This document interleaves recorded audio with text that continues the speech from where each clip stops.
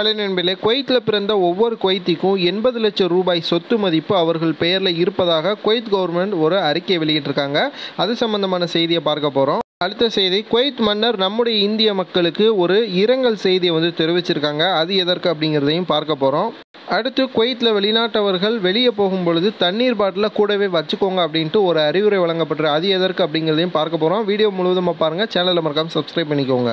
First செய்தி குவைத்தினுடைய government குவைத்தில் பிறந்த ஒவ்வொரு குவைத்திகளுக்கும் எண்பது லட்சம் ரூபாய் மதிப்பிலான சொத்துக்களை கொடுத்திருப்பதா ஒரு மகிழ்ச்சியான செய்தி வெளியாயிருக்கு.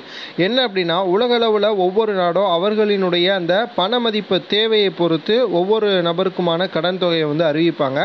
அந்த அடிப்படையில் குவைத்தில் ஆயில் எண்ணெய் வளம் வந்து ரொம்பவே அதிகமாக இருக்கிறதால அதன் மூலமாக கிடைக்கக்கூடிய வருவாய் மூலமாக குவைத்தியலுக்கு அதிகமான சலுகைகளை வந்து வழங்கிக்கிட்டு இருக்காங்க.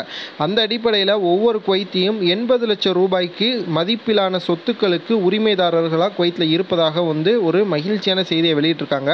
ஒவ்வொரு நாட்டினருக்கும் கிடைக்க வேண்டிய மிகப்பெரிய பாக்கியம் இது. அதாவது எல்லா நாட்டிலையும் இந்த மாதிரியான வசதிகள் இருக்காது. ஆனால் குவைத்தில் பிறந்த ஒவ்வொரு நபருக்குமே இந்த வாய்ப்புகள் வந்து அந்த ஆட்டோமேட்டிக்காக கிடைச்சிக்கிட்டு இருக்கு.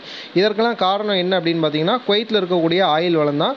நம்முடைய நாட்டிலையுமே இந்தியாவிலையுமே பார்த்தீங்கன்னா பல விவசாய நிலங்கள் வைத்திருக்கக்கூடிய விவசாயிகளுக்கு கூட இந்த அளவிற்கு சொத்து மதிப்புகளோட தற்போது இல்லை ஏன்னா அவங்களுக்கு நஷ்ட கணக்கு இருக்குது லாப கணக்கு இருக்குது அந்த மாதிரி நிறையா இருக்குது ஆனால் குவைத்தை பொறுத்த வரைக்கும் அந்த மாதிரியான எந்த ஒரு பிரச்சனையுமே கிடையாது. குவைத்தில் பிறந்தாங்க அப்படின்னாலே அவர்களுக்கான சொத்து ஆட்டோமேட்டிக்காக அவர்களுக்கு போய் சேரும். குவைத்தினுடைய அரசு மற்றும் மன்னராட்சி இது இரண்டும் தான் அனைத்து குவைத்திகளுக்குமே இந்த அளவிற்கு சொத்து மதிப்பை உயர்த்துவதற்கான முக்கியமான காரணம் அப்படின்ட்டு செய்தி வெளியிடப்பட்டிருக்கு.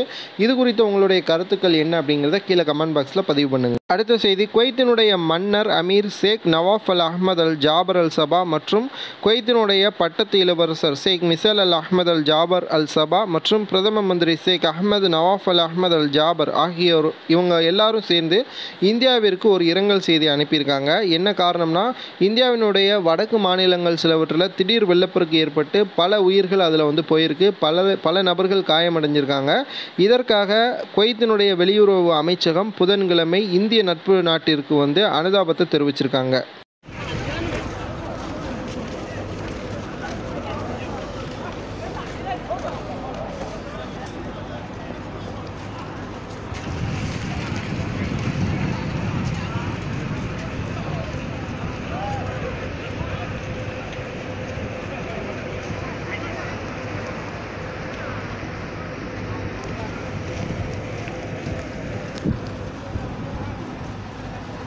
ஐம்பது டிகிரி செல்சியஸ் வரைக்கும் வெயிலினுடைய தாக்கம் இருக்கும் அப்படின்ட்டு சொல்லப்பட்டிருக்கு. ஸோ ரொம்பவே கவனமாக இருங்க. வீடியோ பார்க்கக்கூடிய நண்பர்கள் குவைத்தில் தற்பொழுது வெயிலினுடைய தாக்கம் எப்படி இருக்குது அப்படிங்கிறத கீழே கமெண்ட் பாக்ஸில் பதிவு பண்ணுங்கள் சேனலை மறக்காமல் சப்ஸ்கிரைப் பண்ணிவிட்டு உங்களுடைய அன்புக்குரிய நண்பர்களுக்கு ஷேர் பண்ணிவிடுங்க.